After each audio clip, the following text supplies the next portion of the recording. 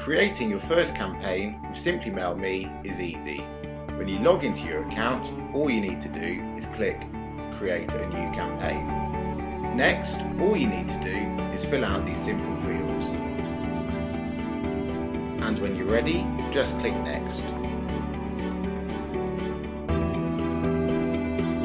We now can choose what template we're going to use. I'm going to select Image Logo and click Next. First thing we're going to want to do is to upload the logo. So I'm going to replace the existing image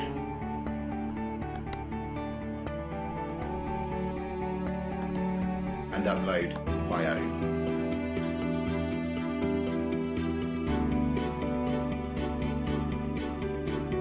I can now start editing the fields. All I do is click the pencil mark and I can start typing.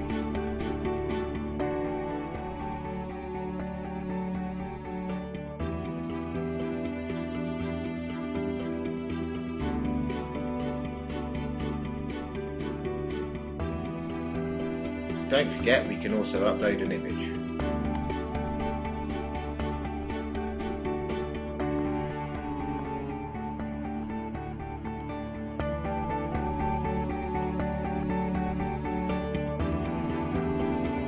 and click save when you're done.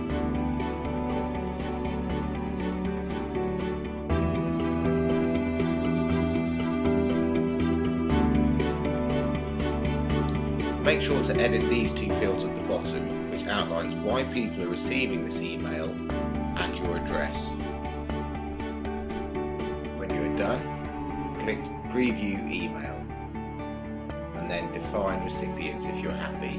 Now because this is your first campaign, you will need to enter in recipients. In this example, I will type them in manually.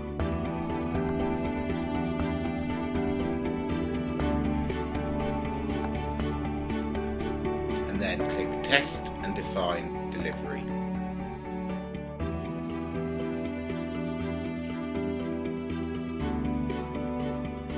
You can test the campaign or send immediately. Now you can choose when you want the email campaign to go out and click send. You can now see just how well the campaign goes by using World View and also many of these features on the right hand side. Best of luck, bye bye.